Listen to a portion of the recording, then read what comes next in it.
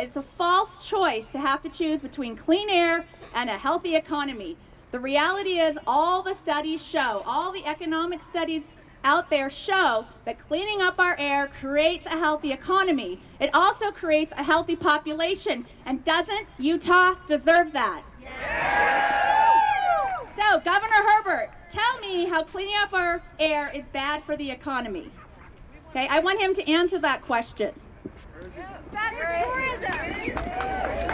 So I think what Governor Herbert means to say is that cleaning up the air is bad for the economy of his donors.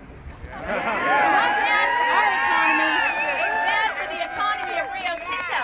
Now the reality is Rio Tinto made $14 billion through the year before in profit. Tell me they can't afford to spend a billion or two on cleanup and do the right thing in the communities in which they're operating, one of which is right here in Utah.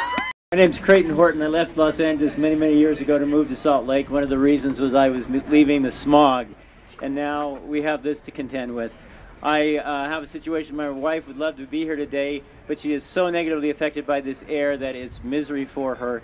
And you know, this bad air affects all of us, but you can't tell how much it's affecting some of us as much as others. But it's sort of like the frog in the pot that's with the boiling water and everybody becomes an environmentalist at the point that they can't breathe. We need political will to do something about this now. Thank you.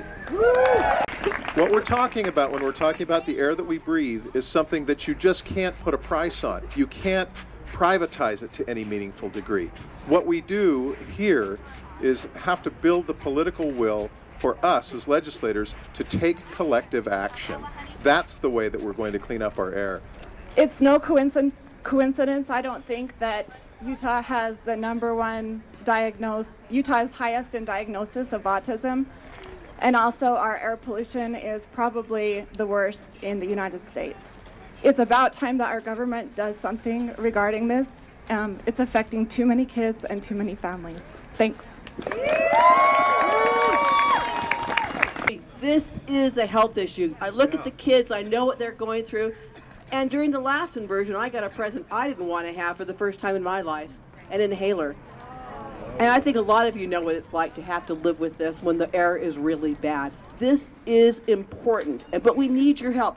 A lot of you have contacted the governor, but you need to contact your legislators. You need to find out who represents you in the House, who represents you in the Senate.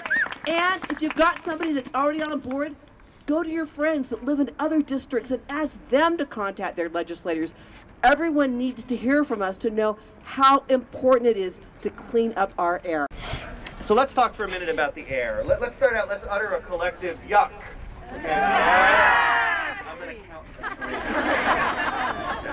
three. One, two, three. Yeah! That was very good.